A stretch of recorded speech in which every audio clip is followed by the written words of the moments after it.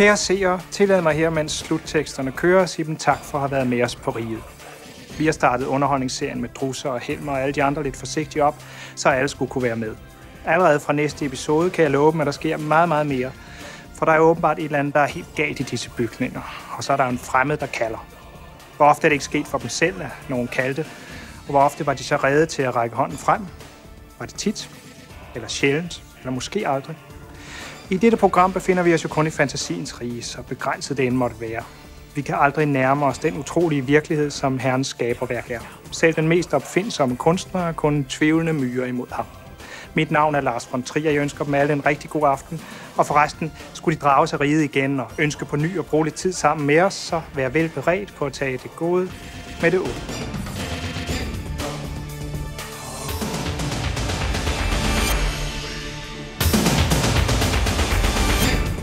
Det var så, mine damer og herrer, andet afsnit af Riget, og jeg vil gerne endnu en gang takke dem for så ivrig at følge med i vores lille serie.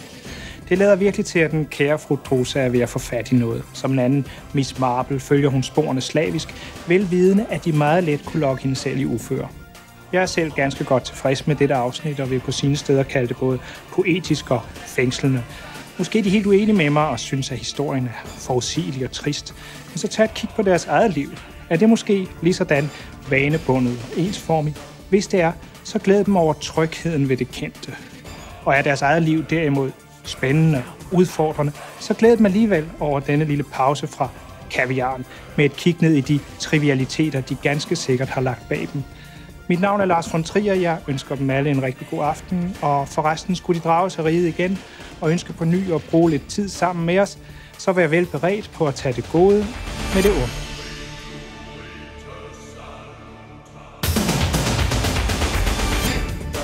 Vi har endnu en gang været samlet omkring riget. Og hvordan gik det så? I ly af det ekscentriske, det charmerende, ja, måske sågar det vanvittige, findes uhyggen altså. Og måske er det på denne baggrund, at menneskenes ondskab tegner sig allerskarpest. Rose har endelig fået fat i sit spøgelse, Dr. Bondo i sit sarkom. Bringer erobringen dem lykke? Hvem ved? I øjeblikket ser det vist desværre ud til, at målet for deres atro godt kan gå hen og blive dem en ubehagelig klods om benet. Og Helmer, så lad mig sige det på denne måde. Denne serviet er formet ved hjælp af 12 simple foldninger. Set i forhold til menneskehjernens utallige vindinger en uhyre simpel prototype. Og her har vi så Helmers version. Ikke særlig imponerende, vel? Sandheden om vores evner kommer altid for en dag. En ubehagelig tanke, ikke sandt? Mit navn er Lars von Trier. Jeg ønsker dem alle en rigtig god aften. Og forresten skulle de drage sig riget igen og ønske på ny at bruge lidt tid sammen med os, så vær vel beredt på at tage det gode med det onde.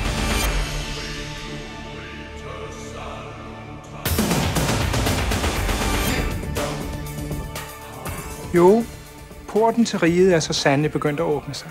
Den lille Maria er vendt hjem. Judith har fået sit barn. Planer er udført, og konklusioner er nået. Og alligevel virker det hele mere som en ny begyndelse, end som en afslutning. Måske gør dette dem utryg. Måske har det, vi har vist dem, gjort dem utryg. De skal ikke være bange. Al den tid, vi holder øjne og ører åbne, så er alt, vi herfra kan gøre, at forsøge at skræmme dem med lidt teaterbuller og en chat kunstig blod. Det er først, hvis de vender ansigtet bort, at vi har dem fanget. Det er bag de lukkede øjne, at den virkelige uhygge begynder. Tilbage står vi med et enkelt, men praktisk problem. Hvordan skal vi dog komme videre med disse personer, disse intriger? Hvordan skal rigets historie føres videre? Alle argumentationer munder ud i den samme enkle løsning. Det gælder slet og ret om at bruge hovedet. Mit navn er Lars von Trier. Jeg ønsker dem alle en rigtig god aften. Og forresten skulle de drage sig riget igen og ønske på ny at bruge lidt tid sammen med os, så vær jeg stadig velberedt på at tage det gode med det onde.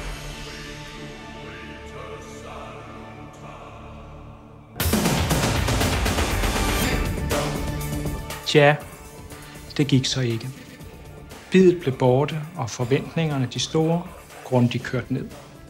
Pist væk var ånden, og det trods alt ydmyge håb om en gentagelse af fordomstiders succesfulde fremmarsch. Og så alligevel, så var det måske ikke forsvundet helt ånden, altså drusses, for op under operationsstuens slitte loftsplader, der tittede den ligesom stadig frem. Og måske er det i virkeligheden, når vi opgiver den, at vi kan vinde vores allerstørste fortjenester. Ganen og vanen går sammen til tors, men at lade dem løbe af med os, det er vi ikke tjent med. Kan vi blot en enkelt gang give slip på det, som er os allertryggest, og som har mættet os godt så mange gange før? Magter vi at sige rigtig farvel, så bliver det måske til et lille mundret goddag til det nye, der ikke er som det gamle, og ikke smager som det gamle, og netop derfor måske slet ikke så dårligt endda. Mit navn er Lars von Trier. Jeg ønsker dem en rigtig god aften, og forresten skulle de drage sig riget igen og ønske på ny og bruge lidt tid sammen med os, så husker de nok at være velberedt på at tage det gode med det onde.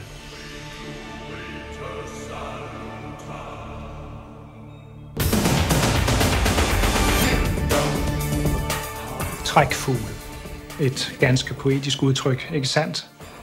Et udtryk, der næsten beder om at blive følt, og hvor I svage sjæle med på en ringe tilskyndelse formår at projicere både længsel, vemod og alle hjemløshedens øvrige så knugende og romantiske følelser. For trækfuglene bærer jo virkelig i dette evige kredsløb den bevægelse med sig, der som et pendul holder verdens store ur i gang. Og så drejer det sig jo bare om noget så dagligdags som trafik.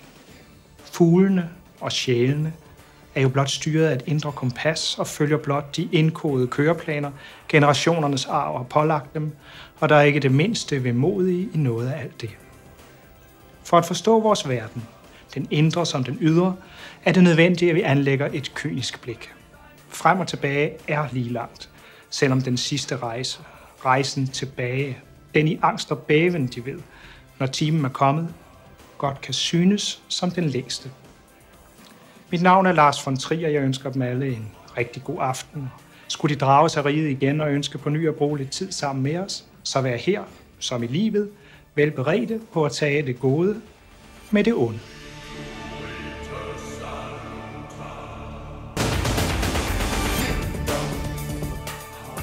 Udstrækning, mine damer og herrer, har betydning. Alting kan beskrives med tal og gøres op i meter og my. Og bliver tallene for mange eller for få, så må der renses ud eller omgående lægges til. Og måske vælger vi selv langt oftere end nogen tør tro vores egne tal. Lillebror blev stor, så komet blev stort. Menneskene er mange, og når de i deres kigger der kigger op på stjernerne, så kan de måske fristes til at kalde sig små. Og så er virkeligheden jo egentlig den, at vi ville være langt tættere på sandheden, hvis vi sagde, at intet af det hele egentlig er til.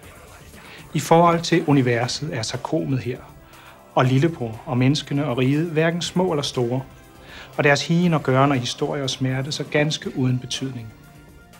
Dør der tre mennesker i en flyvemaskine, eller forsvinder der tusind af vores verdener i et lysglemt, så vil det ikke få manden i månen på den anden side Mælkevejen til så meget som at hæve et øjenbryn. Sådan er det, og sådan er det godt. Mit navn er Lars von Trier. Jeg ønsker dem alle en rigtig god aften.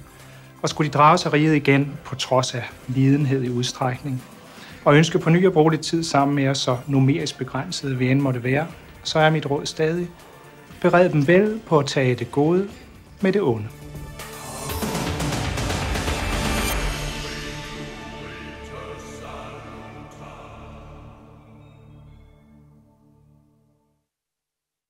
Solen blev så rød, mor, og natten blev så sort.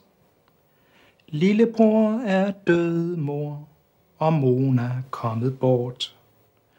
Ågegård derude, mor, vi låser vores dør. Det blæser på min pude, mor. Monriget bliver som før. Mit navn er i al ydmyghed stadig Lars von Trier. Jeg ønsker dem endnu en gang den obligatoriske gode aften. Skulle de på trods af det, de netop har set, alligevel nære et ønske om at følge rigets videre slingrende kurs, og stadig ville bruge lidt tid sammen med vores lille flok, og for Gud ved hvilken gang lytte til denne herres dumsmarte bemærkninger, så vær for satan velberedt på at tage det gode med det onde.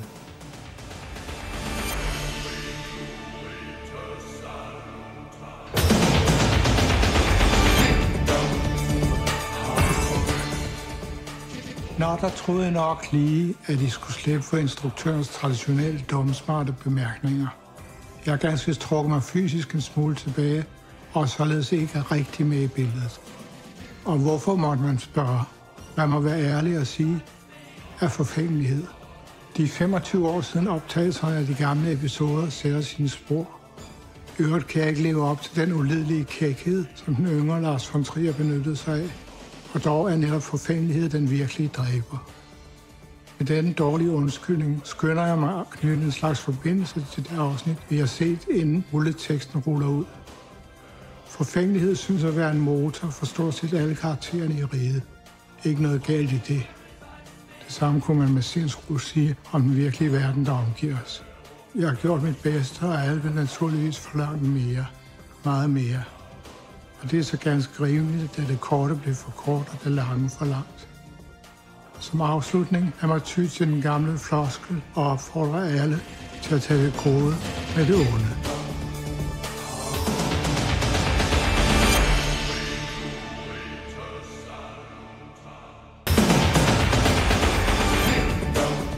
Kald hen til hen, og hen og hen vil komme hen.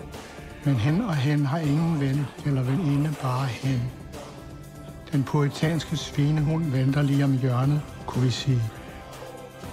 Så kalder os dog til over den store broderland for vores drillerier. Man har ikke netop også din plads på grænsen mellem granit og kalk, mellem stort og småt, mellem bjerg og dal og mellem klogt og plat, mellem store og lillebror. Drillerier er som myg, man kan klaske ned, men lyt, det summer derude i mørket nu, måske mere end før. Fordi mange drillerierne holder sig aldrig om nogensinde ude helt. Så mellem venner må vi tåle et stik eller to, og kløen er ubehagelig, men ikke farlig. Så endnu en gang nationer, der måtte føle sig truppet på den ene og den anden side af sundet, siger jeg i mangel af anden undskyldning end at være Lars von Trier. Vær fortsat velberedt på at tage til gode med det onde.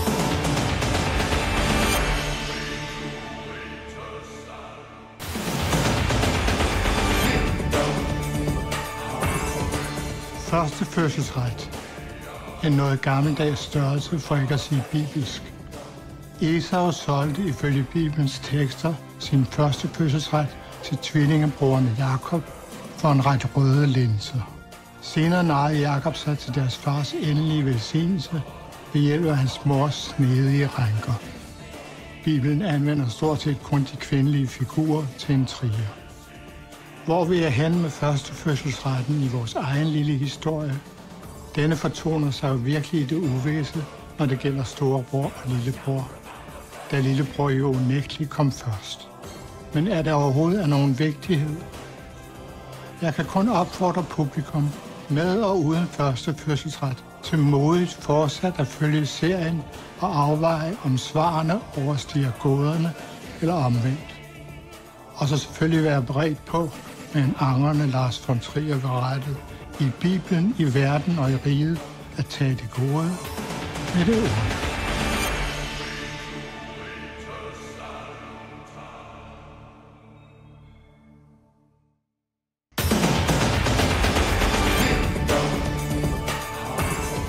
Hold nu kæft, Halmer, og giv os et øjeblik til at reflektere. Gefjern pløjede, ifølge endnu en myte, Sjælland ud af Sverige med sine sønner fra hekse til okser efter et erotisk eventyr med den svenske kong Gylfe. Ja, meget skal man lægge øre til, men hvor leder det hele hen? Lad mig våge en påstand. Selvom klimaet åbenbart går i helvede til, så vil Ragnarok være at finde i god behold på rige. Min spotter med altså, at det hele faktisk Gud være lovet ved få en ende. Og Halmer og Gylfe kan hulke det, de vil. For her på Sjælland, måske franaret Sverige dengang, vil vi ganske snart sætte punktum. Jeg vil selv følge de skamlige europæiske politiske tendenser og dreje højere om.